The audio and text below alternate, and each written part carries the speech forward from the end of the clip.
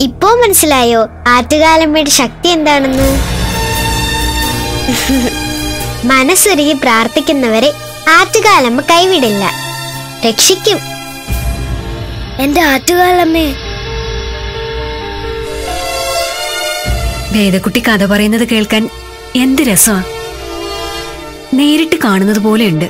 അച്ഛൻ തിരുമേനിയും ഗുരുനാഥരും അങ്ങനെയാ പറഞ്ഞു തരിക.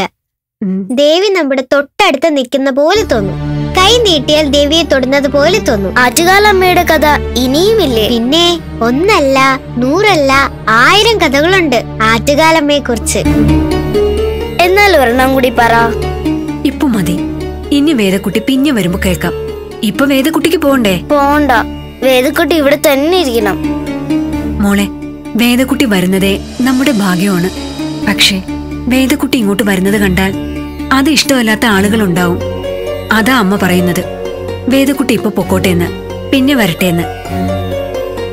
ഞാൻ എല്ലാ കഥയും പറഞ്ഞു തരാം കുഞ്ഞിപ്പെണ്ണെ.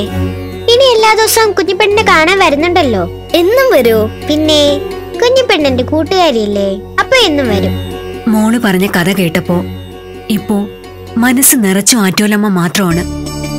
പൊങ്കാല തിളയ്ക്കുന്നതും അതിന്റെ മണം വരുന്നതും ഒക്കെ ശരിക്കും ഉള്ളതുപോലെ. എന്റെ നാവിൽ പൊങ്കാലയുടെ മധുരം വന്നമ്മേ. എന്നാ ഞാൻ ഇനി പൊക്കോട്ടെ? മോൾ പൊയ്ക്കോ. കുഞ്ഞിപ്പെണ്ണെ ഞാൻ പൊക്കോട്ടെ.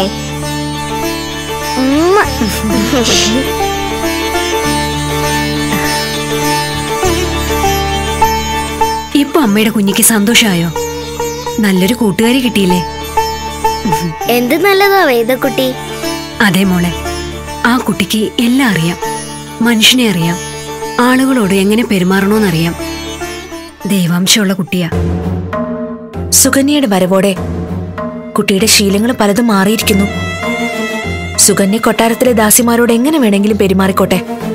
കുട്ടി എന്തിനാ അത് അനുകരിക്കുന്നത്? വല്യമ്മ ചെയ്യുന്നതൊന്നും തെറ്റായിട്ട് എനിക്ക് തോന്നിയിട്ടില്ല. ഇന്നാ പാവം ദാസി രേണുകയെ കാരണമില്ലാതെ വഴക്ക് പറഞ്ഞതോ? അവരെ കരയിച്ചതോ? അവർ കരയുന്നത് കൊണ്ട് എന്താ അവർ നമ്മുടെ അടിമകളല്ലേ? അടിമകളോ? കൊട്ടാരക്കെട്ടിനകത്തും പുറത്തുള്ള ദേശവാസികളെല്ലാം തമ്പുരാന്റെ അടിമകളാണ്.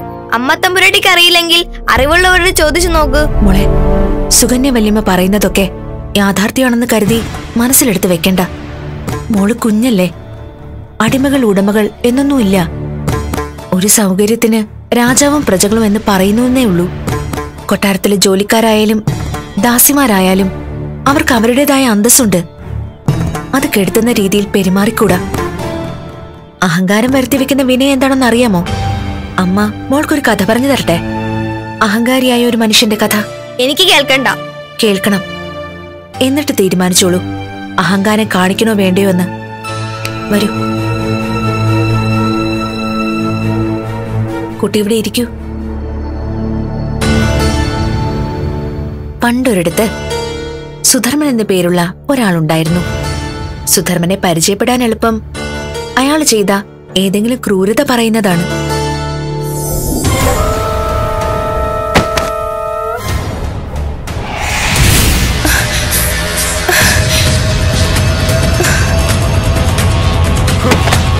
എന്ത് അതിക്രമമാണ് നിങ്ങൾ ഈ കാണിക്കുന്നത്? എന്തിനാണ് ഈ സാധനങ്ങളൊക്കെ വലിച്ചു പുറത്തിരുന്നത് സുധർമ്മൻ തമ്പുരാന്റെ കയ്യിൽ നിന്ന് പണം വാങ്ങിയത് ഓർമ്മയില്ലേ? തിരിച്ചു കൊടുക്കാനുള്ള അവധി കഴിഞ്ഞത് ഓർമ്മയുണ്ടോ? അവസ്ഥ എന്താണെന്ന് സുധർമ്മൻ തമ്പുരാനോട് ഞാൻ പറഞ്ഞിരുന്നു. അദ്ദേഹം സഹായിക്കുമെന്നാണ് ഞങ്ങൾ കരുതിയത്. എന്നാൽ അദ്ദേഹം സഹായിക്കില്ല. എല്ലാം വലിച്ചെറിയാനാണ് ഞങ്ങളോട് പറഞ്ഞിരിക്കുന്നത്. കൊടുക്കാനുള്ള പണം കിട്ടുന്ന മുറയ്ക്ക് തിരികെ കൊടുക്കാം. ഇറക്കി വിട്ടാൽ ഞങ്ങൾ എങ്ങോട്ട് പോകും? അതൊന്നും ഞങ്ങൾക്ക് അറിയേണ്ട കാര്യമില്ല. അതെ സുധർമ്മൻ തമ്പുരാന്റെ കയ്യിൽ നിന്ന് എന്റെ ഏട്ടൻ പണം വാങ്ങിയിട്ടുണ്ട്. പക്ഷേ വാങ്ങിയതിൽക്കാൽ പത്തിരട്ടി പലിശ ഇനത്തിൽ തിരികെ നൽകിയിട്ടുമുണ്ട്. ഇനി ഇത് സഹിക്കാൻ പറ്റില്ല. നിങ്ങൾ എല്ലാരും ഇപ്പൊ തന്നെ ഇവിടുന്ന് പുറത്തു പോണം. നിങ്ങളുടെ സുധർമ്മൻ തമ്പുരാൻ വരുമ്പോ ഞങ്ങൾ സംസാരിച്ചോളാം. എങ്കിൽ സംസാരിക്കും.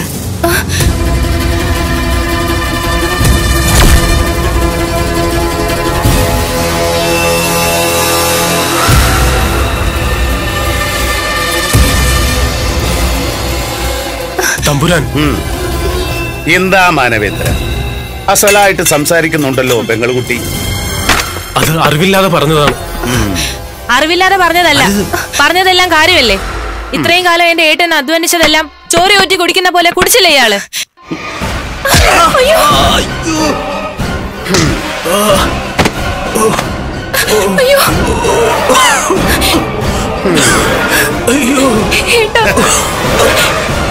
കാലുയർത്തി ഇവളെ തൊഴിക്കാൻ അറിയാൻ പാടില്ല എന്നിട്ടല്ല. വേണ്ടെന്ന് വെച്ചിട്ടാ. സുധർമ്മന്റെ കയ്യിൽ നിന്നും പണം വാങ്ങിയിട്ടുണ്ടെങ്കിൽ അത് കൃത്യസമയത്ത് തന്നെ തിരിച്ചു തന്നിരിക്കണം. അല്ലെങ്കിൽ തെരുവിൽ ഇറങ്ങേണ്ടി വരുമെന്ന് ഈ കരയിലെ ഏത് കൊച്ചുകുട്ടിക്കും പാടവാ നീ എന്താടി പറഞ്ഞത്? ചോര ഊറ്റി കുടിച്ചു അല്ലേ? അതേടി. സുധർമ്മൻ ചോര ഊറ്റി കുടിക്കുന്നവൻ തന്നെയാണ്. എല്ലാം വലിച്ചു പുറത്തെറിയടാ. സുധർമ്മൻ തമ്പുരാൻ. ഇവൾ പറഞ്ഞതിന് മാപ്പ് ചോദിക്കുകയാണ് ഞങ്ങൾ. കുറച്ചു കാലം കൂടി ഞങ്ങൾക്ക് തരണം. ഒരു നിമിഷം പോലും തരില്ല. നഷ്ടമുണ്ടാകുന്ന ഒരു കച്ചവടത്തിനും സുധർമ്മൻ പണമിറക്കാറില്ല. ലോകത്തിൽ ഏറ്റവും വലുത് പണമാണ്. സുധർമ്മൻ ആ പണത്തിന്റെ ഉടമയാണ്. പണമുള്ളവൻ പറയും പണമില്ലാത്തവൻ അനുസരിക്കണം. അങ്ങനെയല്ലേ മാനവേന്ദ്ര? തമ്പുരൻ ജീവനിൽ കൊതിയുണ്ടെങ്കിൽ ഭാര്യയും സഹോദരിയും കൂട്ടി ഈ നിമിഷം ഇവിടെ നിന്ന് പുറത്തിറങ്ങണം. നിന്റെ ഭാര്യയും സഹോദരിയും നിന്റെ മുമ്പിൽ വെച്ച് അപമാനിക്കപ്പെടും. അത് വേണോ മാനവേന്ദ്ര? വേണ്ട തമ്പുരാൻ. അടിയങ്ങൾ വെക്കുള്ള ഒരുപാട് ദൂരേക്കൊന്നും പിക്കളയരുത് ഇവിടെ ഈ നാട്ടിൽ തെരുവ് തെണ്ടി തന്നെ ജീവിക്കണം. നിന്നെയും നിന്റെ കുടുംബത്തിനെയും കാണുന്നവർ പരസ്പരം പറയണം. സുധർമ്മൻ തമ്പുരാനും പണം കൊടുക്കാനുള്ളവരാണ്. അതിന്റെ ശിക്ഷയാണ് ഇപ്പോൾ അനുഭവിച്ചുകൊണ്ടിരിക്കുന്നതെന്ന് എനിക്കഥവാ കേൾക്കേണ്ടത്. സുധർമ്മനെ എല്ലാവരും പേടിക്കണം. ഈ ലോകം മുഴുവൻ പേടിക്കണം. ഇറങ്ങിപ്പോ!